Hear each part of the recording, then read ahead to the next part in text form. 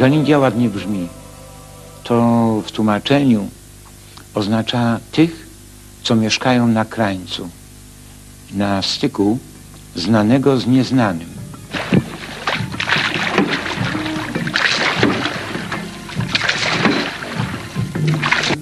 Przepiękny półwysep. Dziki, zatopiony w Puszczy Piskiej, oblany z trzech stron czystymi wodami rzeki Krutyni i jeziora Bełdany. Cisza kłująca w uszy, przerywana może tylko śpiewem ptaków. Zapach polnych kwiatów,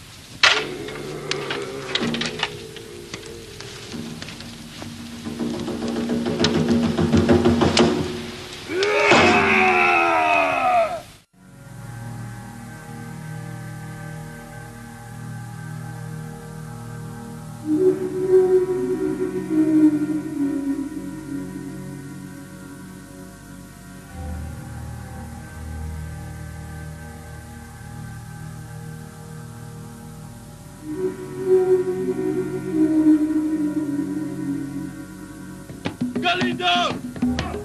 Galindo!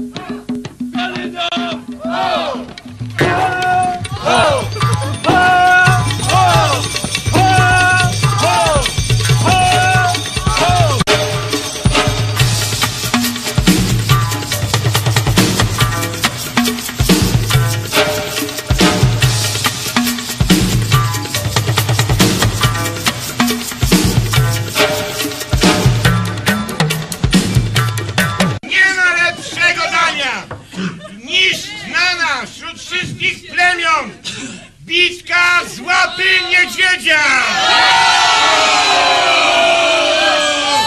Bestia okropna, a ubił ją nasz zacny woj!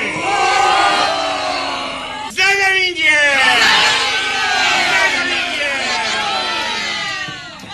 Za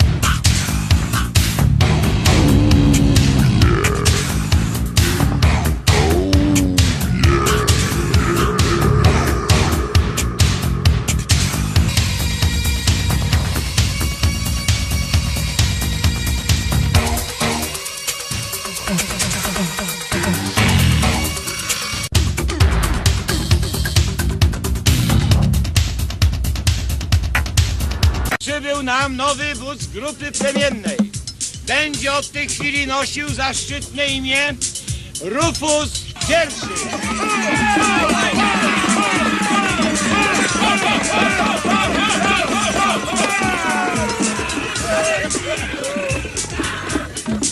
I. Dyrektor został moim koniem po prostu tutaj. Koniem, tak, zwyczajnym koniem do powozu. Ja, ja jako jego pracownik zostałem tutaj jego wodzem. Role się odwróciły trochę.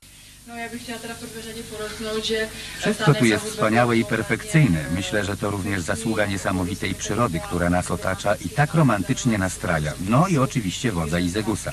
Szef, szefowi Galindor, szefowi Galindor. Polacy, Czesi i Niemcy na co dzień pracujemy z sobą, a teraz się wspaniale bawimy i to nam pomaga poznać siebie lepiej i rozumieć lepiej.